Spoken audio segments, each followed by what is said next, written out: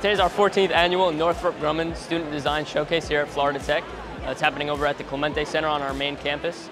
We have over 100 projects here, uh, both in science and engineering, and we have 75 different judges from the industry who have come out to judge today. We also have our Northrop Grumman VIP judges who will be doing their own judging. For today, it's all about having fun. I mean, the past two to three semesters has just been hard work, grinding, uh, everything that they've learned throughout their four years here, they're compiling it into this final project. But really, it's fun time. You know, after this, it's celebration, it's graduation. Uh, I don't think the winning really matters. I think the fact that they're done, that they've got out of the design center alive is uh, something to be proud of, for sure.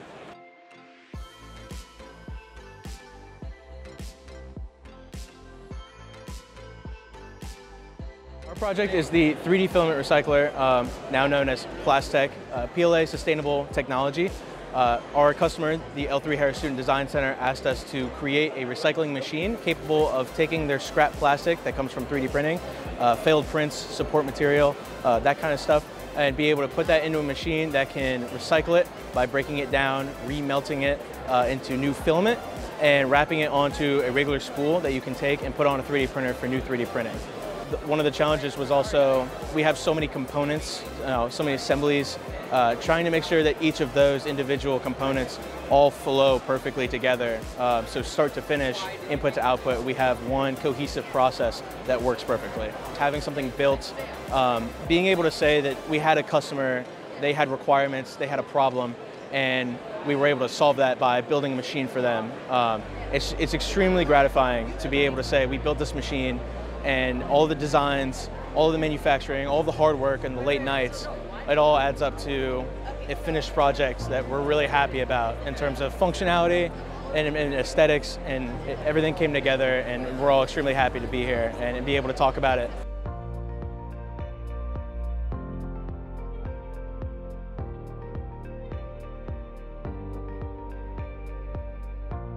Designed a myoelectric exoskeleton arm brace for patients suffering from muscle deterioration.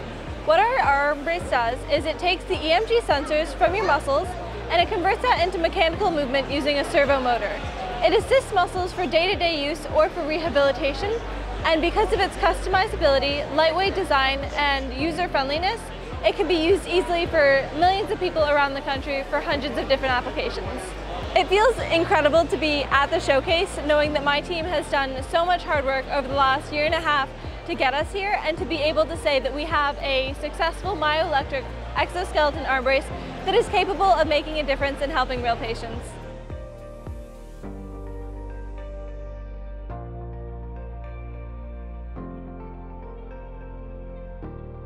Yeah, so uh, I'm Thomas Francis. I'm the team lead here for uh, the electric vehicle team. Uh, basically, what our goal here was um, we have a motor here that was donated by one of the great research professors uh, at our CAMID research facility. Um, it's a Ford Mach-E illuminator motor from the uh, electric vehicle uh, that they sell. Um, and our goal was to design a traction inverter to get this thing to spin. Yeah, so one of the biggest challenges ended up coming towards the end. Uh, was really just time constraints, budget constraints. Um, what ended up happening was we found out in one of our simulations that this thing could generate thousands upon thousands of volts. Um, and we just didn't end up having the budget left over to design the power control circuits to deal with that.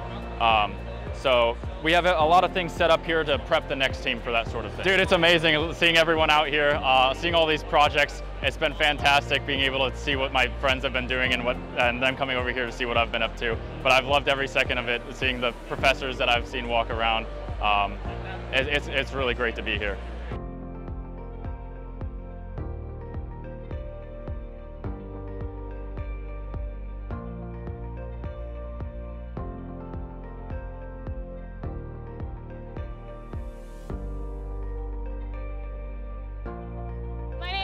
Elsa Carson and what my project is is taking a different plant growth promoting bacterial species that were originally identified on the International Space Station and trying to determine not only the way that they communicate, which is through quorum sensing, but actually the specific molecules that they are using to do that uh, phenomenon. And so what we were trying to do was using a chromatography procedure to actually extract and distinguish the specific AHLs in each species of bacteria that we've previously identified. I'm really excited to be able to showcase all the work that we've been able to do. I think the team's very proud of what we've been able to accomplish throughout the year and it's always exciting to see everyone's projects and get to interact with not only uh, other professors but also just teach the general public about some of the cool work that we're doing at Florida Tech.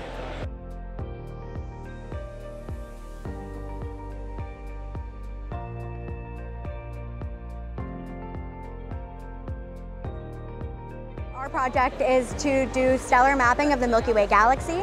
We're trying to update and better understand the structure of the spiral arms of the Milky Way. And we're doing this by taking some original data points provided to us by our advisor. And we're doing a three-dimensional cone search around those points with a radius of 120 parsecs.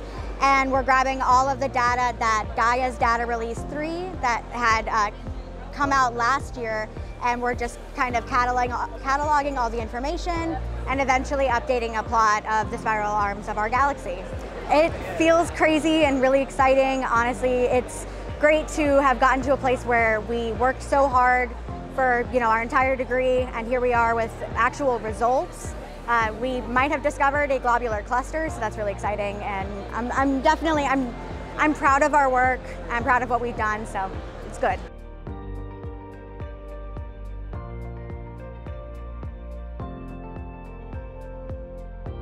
Hello, I'm Caitlin Hubrick. I'm an astrobiology major and I'm working on incorporating edible decomposers into a bioregenerative life support system for a Martian settlement.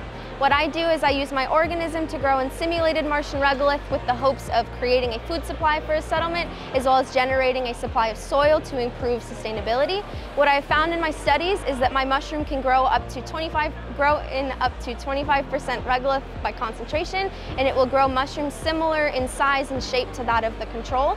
So what we have found is that our organism is a suitable decomposer for what we are proposing.